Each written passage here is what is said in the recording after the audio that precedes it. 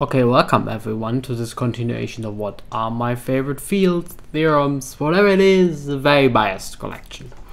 Um, today I would like to talk about quantum algebra and I will motivate in a second why I would like to do this. Uh, but so essentially, in order to motivate it, I need to go to the next slide. So let's go to the next slide. So a few videos back I made a, uh, you don't need to watch that by the way, this will be fairly self-contained. Um, I made a video about quantum topology and I pulled up this beautiful picture of the Congress of Mathematics, also the International Congress of Mathematicians in 1990. And Jones here in the middle happily walks away with a Fields Medal, which kind of came from this burst of quantum topology. And one of the commenters actually pointed out something I wasn't aware of, um, because there's another one in the there's another person in the picture, right? There's another person in the picture, and someone pointed out that this is actually uh, Faddeev. So let's compare. So here, um, yeah.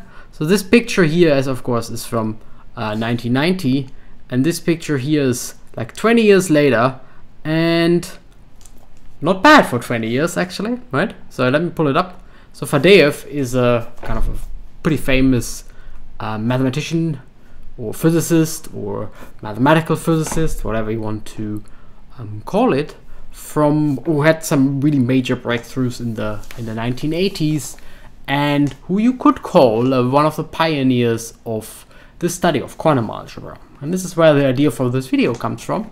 So I was just very happy that in my little picture from before, which I can easily pull up again, I finally know who this other person is. It's Faddeev, and this kind of motivates um, this idea of studying um, the quantum groups or telling you a little bit about quantum algebra, because as this Wikipedia article just points out, this is in uh, Faddeev essentially is one of the pioneers of the invention of quantum groups which were reformulated then um, later. So the kind of the story is uh, so let's just let's just look this up here. So um so quantum groups nowadays mostly contributed to Drinfeld and Jimbo. So there's a famous uh, paper by Drinfeld, which we'll come back to later, and another paper by Jimbo, which talk about a certain type of um, quantization. But kind of quantum groups were invented by many, many people. Um, so, and one of the schools was kind of this Faddeev type school um, in Leningrad, where essentially the basics of quantum groups were invented. And it's somewhat down here, so that's often a very famous school, often actually called Faddeev School, but there are other really big names associated to that school. Anyway, I just thought it would be a good idea to explain a little bit about the history of this field which runs in parallel to quantum topology, uh, which you could call quantum algebra. So today uh, it will be a brief, incomplete, and mostly wrong history of quantum groups. Mostly because, well, what is a quantum group is a little bit of a, it, it's an ill-defined term. Um, yeah, so not much I can say. It probably whatever I say will offend someone, but I just go for this idea that I learned from a really beautiful um, paper, which is sadly paywall hidden. It's called History and Perspective of Quantum Groups by the aforementioned uh, Faddeev. So sadly it's paywall hidden. So Faddeev. So there's another one which I'm also using, which is not paywall hidden, which is by Jones, the one that walks away from the Fields Medal it's called it In and Around the Origin of Quantum Groups. Kind of very, very readable, kind of following those, and that's what I call the history of quantum groups. Again, keep in mind that whatever a quantum group is, is ill-defined, so it kind of depends on who you ask. But anyway, those two uh, articles are very nice, and they fit into my story because they're exactly uh, the two people here in in my picture. And yeah, just just to pull it up, um, so Faddeev it's paywall hidden, but I pull it up anyway. So Faddeev kind of talks about this notion of a quantum group. Uh, the name apparently goes back to this paper by uh, by Drinfeld on quantum groups. And that's kind of the point here. While universally adopted now, it was considered as a misnomer by many purists. So um, essentially, Drinfeld writes about this. I'm not going to explain what a quantum group is, but I'm kind of um, trying to motivate the history. So Drinfeld writes uh, in, in this paper which kind of defines quantum groups on the International Congress of Mathematics four years earlier that what is whatever is a quantum group, it's not a group, not even a group object in the category of quantum spaces. So that's what Faddeev kind of means with a misnomer. Some, somehow it's neither quantum nor a group. It's kind of a little bit of a strange thing. Um, anyway, there will be people have discovered it and there's something you can write down well defined. But anyway, so essentially what you should think of, so here as, as writes, however, Drinfeld used the term quantization, it's more like in terms of deformation. We'll see what that means. And kind of so the point here where the history starts is Faddeev says, uh, well, at least our perspective of quantum groups came from statistical mechanics, or as it's called here, uh, statistical physics, whatever you want to call it. Okay, so that's kind of the story. So my story here is that I finally learned who's the second person in the in the picture, and then this kind of motivates to talk a little bit about um, quantum algebra. And yeah, as Faddeev points, points out, that everything somehow should come from what is called statistical mechanics.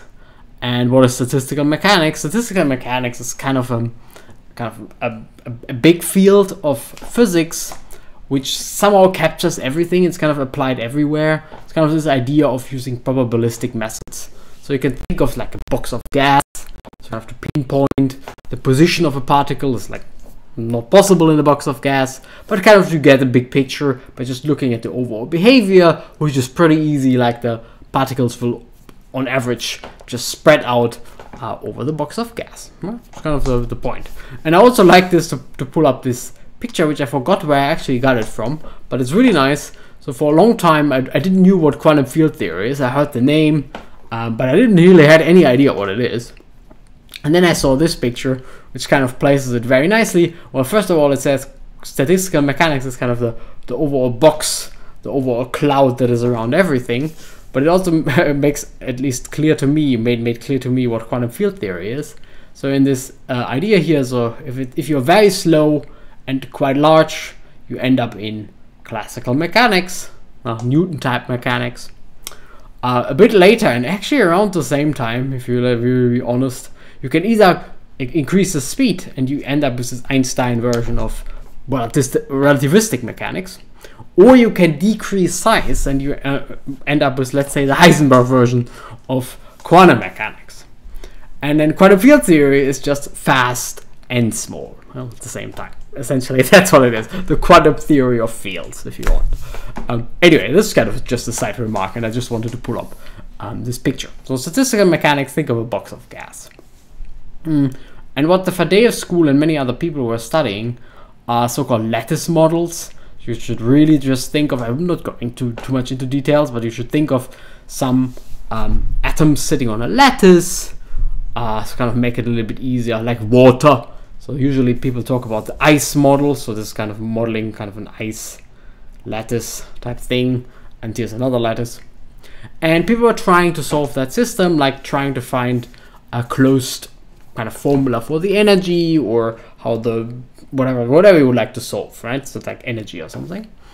And in those ice models, uh, it's kind of really difficult to solve them.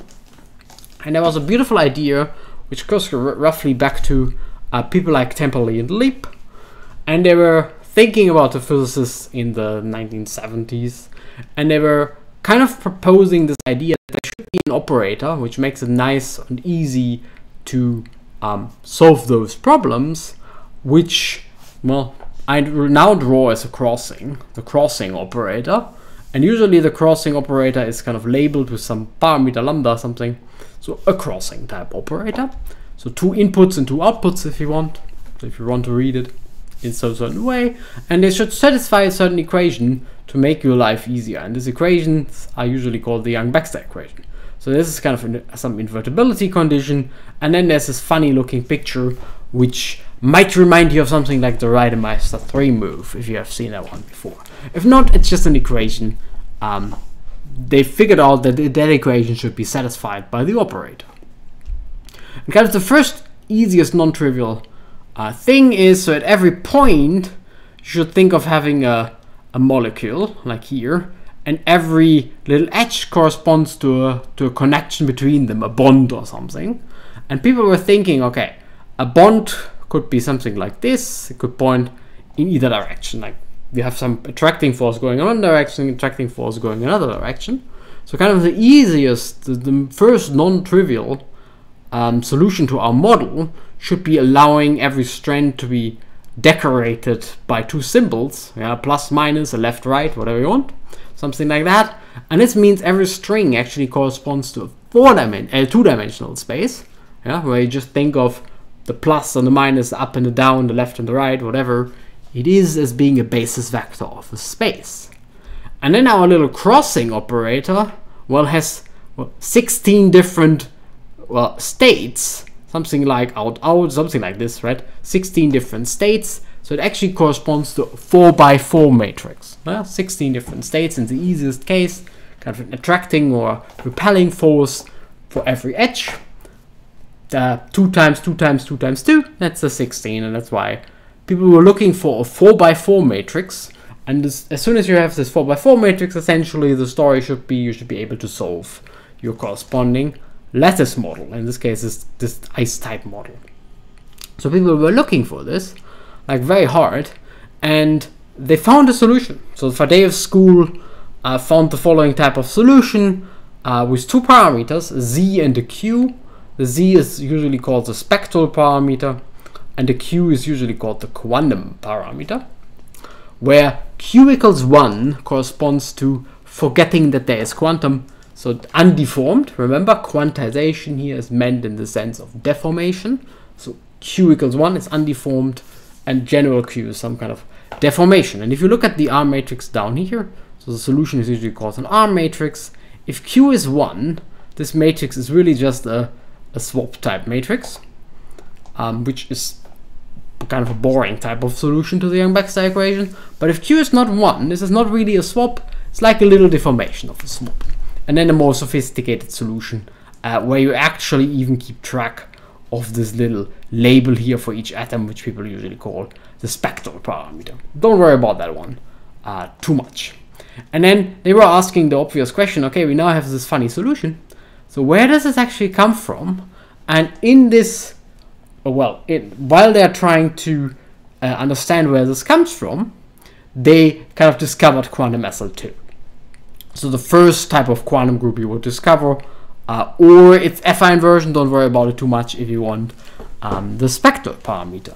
And everything related to some form of a deformation of, of something classical, here you deform a Lie algebra, you get a deformed Lie algebra, everything related to that is something what quantum algebra um, would study. And there's a little bit of a misconception historically because Drinfeld eventually um, just defines. So let me uh, pull up our good old friend Drinfeld again. Drinfeld just defines uh, the notion of Hopf algebra and a quantum group are in fact equivalent. So Drinfeld essentially defines a quantum group to be a Hopf algebra. If you don't know what a Hopf algebra is, doesn't really matter. You are actually in um, extremely good in, in extremely good company. Uh, so because Faddeev points out, it's kind of a fun fact here, uh, that Faddeev apparently gave a talk about this, uh, like before Drinfeld, yeah, in 1982, and one of the students came to Faddeev and said, oh, oh, by the way, the thing you're talking about is actually a Hopf algebra. And Faddeev was like, um, At least that's how it sounds like. For was like, ah, a student has no idea what they're talking about, so ignore that. anyway, so kind of the, the notion of a quantum group was is actually older than the notion of a, of a Hopf algebra, but nowadays people mostly identify um, the two as one. But people didn't know what that is, and in 1982, if nobody tells you what a Hopf algebra is, where should you get that from? You can't ask Dr. Google anyway. Anyway, so people discovered like quantum groups coming from this idea. And there's this, this think of it as having a polynomial and evaluate the polynomial at one, you get like the type of classical story um, back from the quantum story, if you want. And how does it relate to quantum topology? Well, two of the key achievements of quantum algebra. So if I would have to pick one, I would have a hard time. If I would have to pick two, I can easily come up with two because there are really two key achievements, I think, uh, from all this quantization deformation stuff. And the first one is that, that people showed kind of very sh shortly after Jones, uh, so like a few years later, and essentially it was already known to Jones. Uh, but anyway, people showed it very formally that all of these quantum topology invariants are uh, they all come from quantum groups. They are all quantum. So this is now a really strange way of writing it. So what I mean is they all come from all from quantum groups. Um, quantum groups are not quantum, so they're all quantum. It's a little bit strange, but anyway, they all come from quantum groups. So this was the key achievement number one. And then there was uh, roughly at the same time there was a realization that now you have a parameter q, and you can specialize the parameter to anything you want. That's fine. So specializing q to one gives you the classical story, but there are two little bit fishy specializations. So you could specialize q to 0 or dually q to infinity. And since you really want the quantum usually de be defined over uh, having an inverse of q, both of these specializations are a little bit fishy. Yeah? You have, don't have an inverse of 0, and specializing q to infinity is fishy anyway. But people realize that it actually makes sense if you're a little bit careful what you're doing, and discovered the so-called crystal limit, which give, gave new insights it's really critical He had New insights on Lie algebras and their representations, which people have missed for a hundred of years, a hundred, hundred, not hundreds of years, a hundred years, because that's roughly how old Lie algebras were at that time. And that's really remarkable, right? So in, in this quantum, just specializing to the only fishy parameters actually works and gives you new insight um, about something people have studied for a hundred years. It's kind of a really remarkable part of the story. Anyway, I hope you enjoyed this video and I also hope to see you next time.